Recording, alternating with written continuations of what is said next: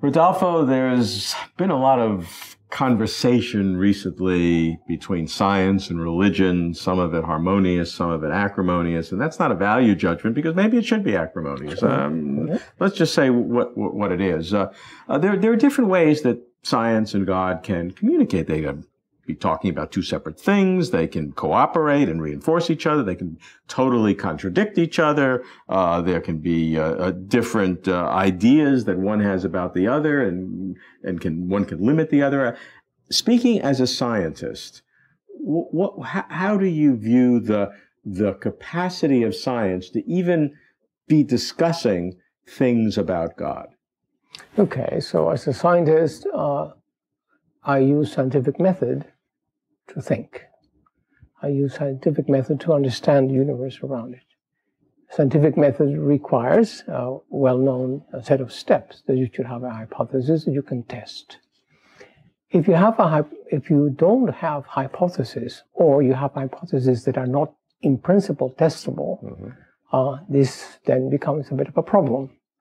Uh, it may be that uh, they're not testable momentarily. That uh, some people would say evolution is not testable. Evolution is testable, and in fact, uh, there is very serious um, scientific basis to uh, believe that this is in fact what happened. Anyhow, if you consider a a uh, situation where, by definition, scientific method cannot be utilized, then I have to say, from a scientific point of view, is not a question that I can understand from a point of view of cognitive uh, function of the brain in the sense of the, co- cognitive function of the brain, in order to be able to understand, requires to be able to understand the origin. You have to have a, a historical event that has to do with causality, A causes B causes. So you have to be able to trace it back to something. So if you if you cannot, as a scientist, have a traceable causal uh, continuity, or you cannot apply the scientific method,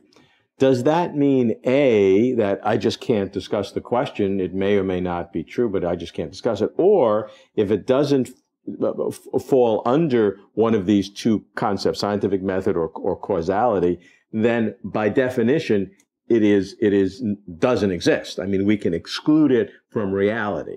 Or is it just outside of our purview? Big difference. I, absolutely, a huge difference.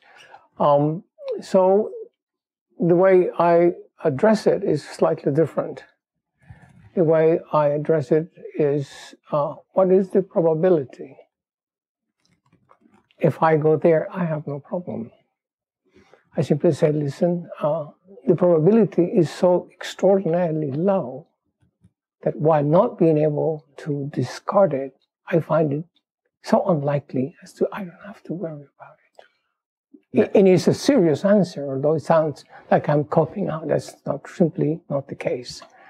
Uh, events that have an infinitesimal, that they have a very, very low probability uh, of existence, and one can discuss why that is the case, are simply uh, not very interesting. Okay, I, I, I would accept that. Now let's find out why you you assign God, as a scientist, a very low probability because either it is it is uh, applicable and discernible some things with the scientific method or not. because it's total inability the total inability has that that God has to implement anything to be in any form discernible.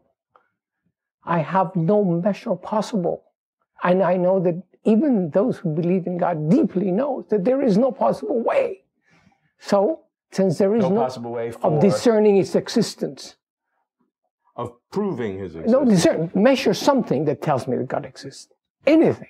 So, are we saying that discernment is the same thing as measurement? Yes, indeed. In this case, for me, it is that. Is it in every case? In every in every is case there... that I know concerning my cognition or concerning my ability to understand things. Okay. Um, Discernment equals measurement. If you cannot right. measure, you cannot discern. Absolutely. I, am a, I'm a logical positivist. I require to be able to have a hypothesis that is testable. This is a hypothesis that is not testable. Does that imply that it doesn't exist? No, but it implies it has a very low probability. Yeah.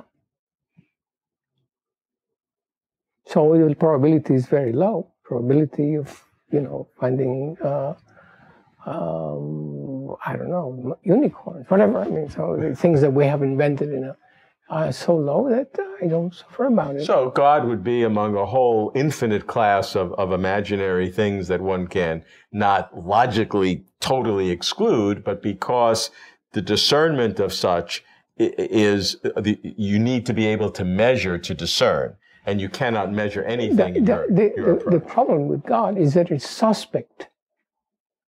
In my case, I find the idea suspect. Why? Because God is also power, human power.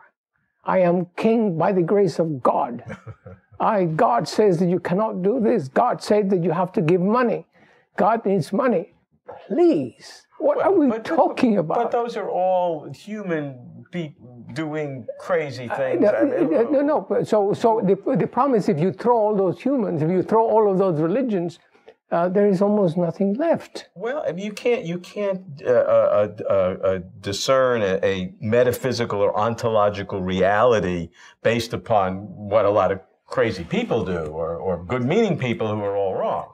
Well, but if you define philosophers as what philosophers do, you might you might find uh, religion as what religion does, and what religion does is sometimes not that nice.